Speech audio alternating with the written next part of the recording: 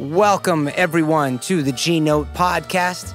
I am your host, Jason Spicy G Goldman, and I'm a Grammy winning record producer, arranger, and musician. I've been a music professor at USC for over 22 years, and I am most known for writing and producing music for the iconic Michael Bublé over the past two decades. This is a podcast for musicians who want advice and strategies on navigating the music industry. If you're not a musician but a music fan, I promise there is plenty in here for you as well. On this pod, we talk all things music. I'll be giving you tips and life lessons I've learned over my 30 years in the business, and I'll top it off with a dash of my humble opinion. On today's pod, we are talking about one of the most important teachers I've ever had. Let's go.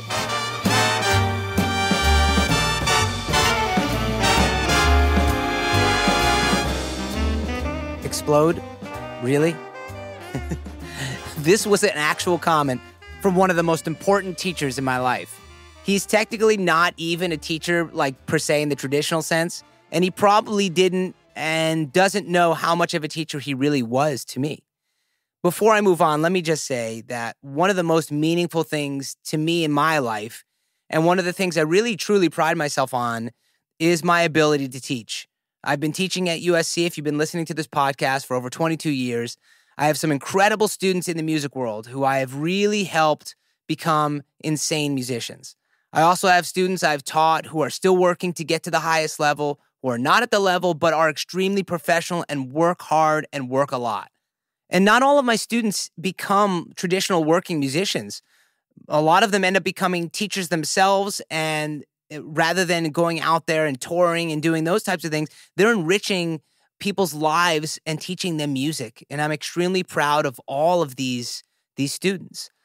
The reason teaching is really so important to me, and th- this is actually really important, is because not only do I feel like I'm helping and making a difference, okay, I, I also feel like I'm constantly learning from them and I'm growing as well. So I, I guess it's a little bit selfish in that way.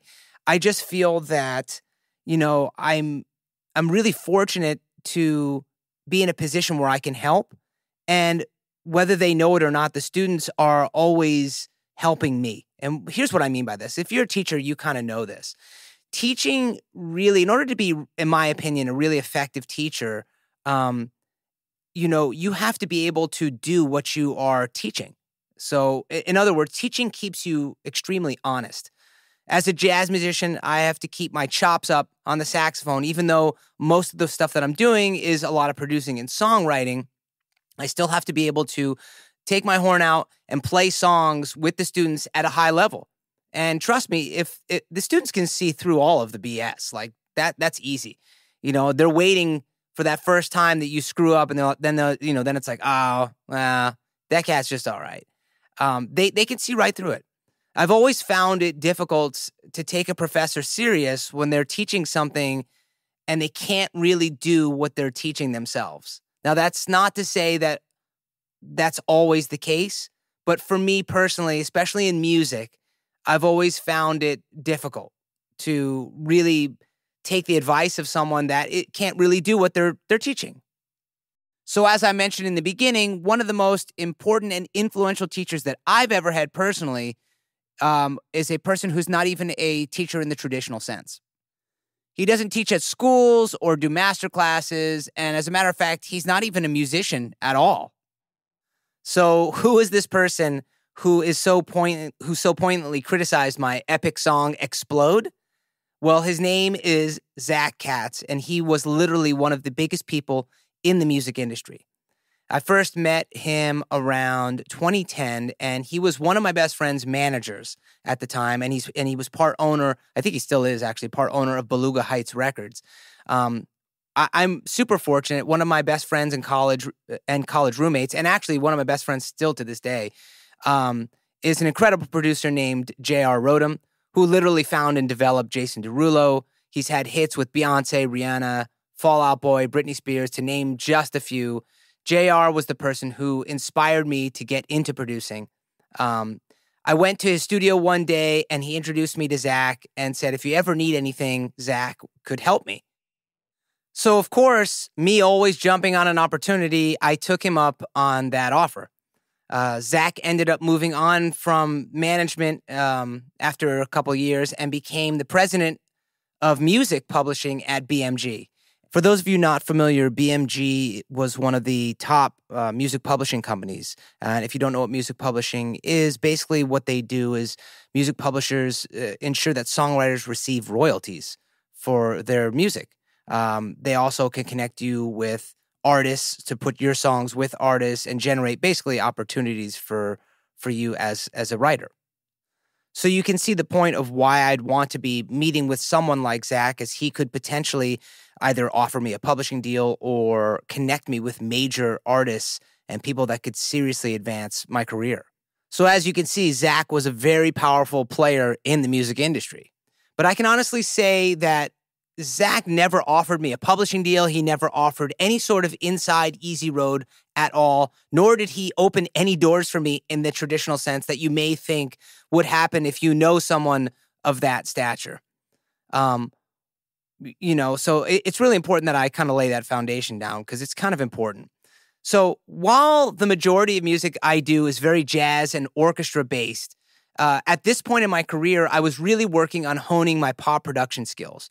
I would work all day long and at night. After me and my wife, wife would put the kids to bed, I would work on production until two or three in the morning.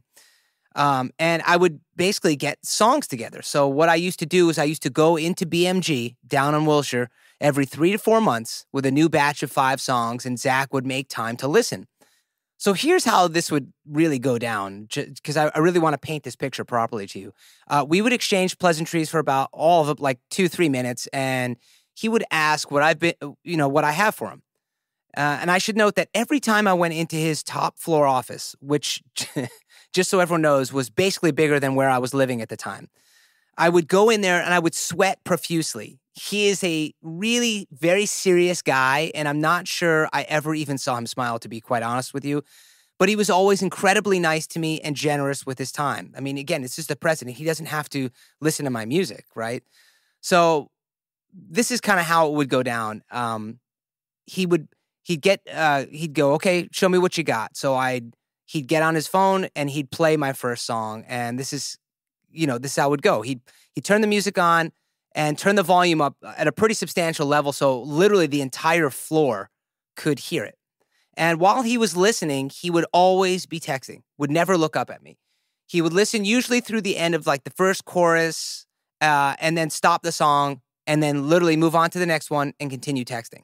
Not a single word in between songs.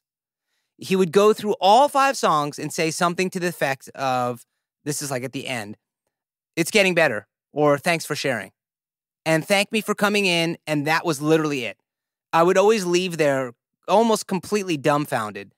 He wouldn't say anything about how to improve or what I should do next. But in my head, I just kept saying, if he liked something, I'm, I'm sure he would just tell me, right? And this is where my song Explode comes into play. Keep in mind, this was around 2013, and Katy Perry and Lady Gaga and the bubblegum dance pop thing were the rage. And just so everyone knows, I love that shit. I am a huge bubblegum pop fan. I love it to death. Let me play you a little bit of uh, of the song. Here it is.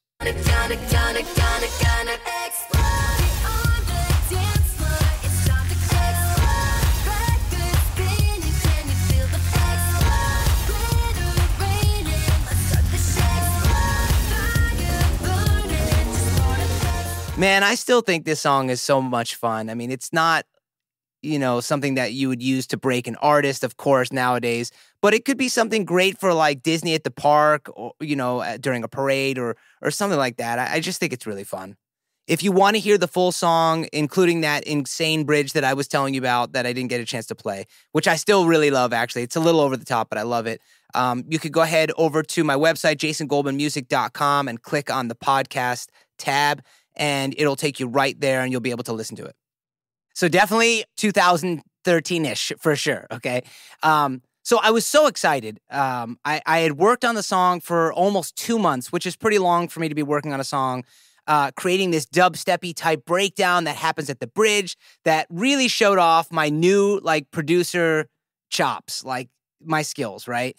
And so this is how this went down. Zach listened to literally 35 seconds of the song, um, didn't get anywhere close to the bridge, stops the recording. Literally, I would say right after the first few seconds of the chorus, he looks at me up from his phone and says, Explode? Really? and I just, of course, again, I'm sitting there sweating my ass off. And he literally says to me, Don't bring me any more of this Britney shit. He said, This is Max Martin's lane, and you are not Max. you know, inside my heart was just like sinking. I mean, it was like unbelievable. For those of you who don't know who Max Martin is, you should definitely look him up. He is one of the biggest producers of all time. He has had like 25 or more number one hits on Billboard uh, Top 100, which is insane. He's responsible for like the sound of Katy Perry, Kesha, um, uh, Britney Spears, Backstreet Boys, you name it. He's pretty much done it. Anything that's super catchy that you've heard on the radio on repeat, it's probably a Max Martin song. And then he, was like, you know, why would I want to hear a second rate Max Martin? Again, like, you know, I, inside I was just like, oh my God, this is like the worst thing ever. And, you know, I was basically, I sunk to the floor. And I even said, man, you want to hear the bridge that I worked on? It's, it's really, I think you're really going to like it. It's super cool. And he goes, no thanks. and that was it. So I would continue to bring in music to him for probably almost close to two years. And I finally got up the nerve after a, another set of five songs. And I said, man, I said, do you like any of the songs I've been showing you over the last couple years? I said, I, I told him I was getting really frustrated. And he, this is what he said. He said this to me. This is, it's super, it's super important to me. He said, the songs are not good enough. And I, you know, I said, is the production good enough? He said, look, whether it's the production or the song, it ultimately doesn't matter. The records themselves are not good enough. And I remember asking what I needed to do. I, I said, I go, what do I need to do? And his reply was so simple. I mean, it's it seems obvious now, and I feel kind of dumb saying it, but he wrote, he he he said, write better songs. And and I would learn, you know, from the meetings that I would have with him over the next several years that his answers were always like incredibly simple. And if I just thought about it for one minute, I already would have the answer, right? He would never give me exact specific things to work on. He would never, you know, he would he actually said to me he's like look i'm not a musician. I can't i can just tell you if i hear a hit and you don't have one. And i remember saying how can i write better songs? And I, am already working with some solid songwriters. And again his simple reply was get different writers or learn how to do it yourself and be better. And me being relentless you know the, the relentless person that i am i dug for specifics. And he finally said this to me. He said where's the edge of the songs? Where's the relatability or the uniqueness I already know what the song is about when I see the title. So why should I even listen? And I, you know, I was like sitting in my head, I was like, man, like, really? And I said, I finally got the nerve and I said, and I fired back at him and I said, look, there are tons of songs out there that are not unique or edgy. And he said, those songs are typically not first hit songs for artists. Those are usually follow up songs and third songs, uh, uh, or like third singles. And he said, um, very rarely are are they the songs you know are these songs the ones that broke the artist? He said you need to write songs that break artists because anyone can write the easy ones. So why would they need you for those? My mind was completely just blown and i just sat there just in freaking awe like whoa. I was just in utter shock. He said look ultimately the buck stops with you. You're the producer so it's your fault if the song's great or not great. This is why he was so great, in my opinion. He didn't sugarcoat anything. He was honest, he was upfront. And even though there is some subjectivity in what a hit song is, he was a top dog. He always gave it to me straight and unfiltered. And to me, that is one of the most important qualities of an incredible teacher. This allows you to get a high to, to the higher level and fast track your career. And I totally understand that not everyone learns well from this type of a teacher. Some people don't have the stomach to take rejection, especially for, you know, for year after year. But this is the music industry, and rejection is a huge part of it. Most people will tell you no until one day they don't. So you you have to take advantage of any opportunity you have and learn and strive to be better and get to the highest level. Surround yourself with people that are better than you and learn. Don't let your ego get in the way or it will slow you down. And to me, Zach helped my career out again without him giving me anything. he helped my career out more than almost every teacher. And I, and I went to, you know, Berklee College of Music for my undergrad and USC for my master's and you know, and and I had some fantastic teachers. But Zach was a different type of a teacher in that he was direct, honest, and it allowed me to move my career forward really, really quickly, which is really important to this day. And the fact that I can remember these meetings in such detail shows you how much respect I had for him and I had for his opinion and what he meant to me as a teacher and mentor. Folks, we are out of time for this episode. If you haven't already done so, please subscribe to this pod so you can stay up to date with the new shows that I'm doing, giveaways, and more importantly, concerts. You can also follow me on Instagram at SpicyGMusic or check out my website, jasongoldmanmusic.com, to see what projects I'm currently working on and to see when I'll be performing next. Thanks everyone for listening. Appreciate you all. Peace.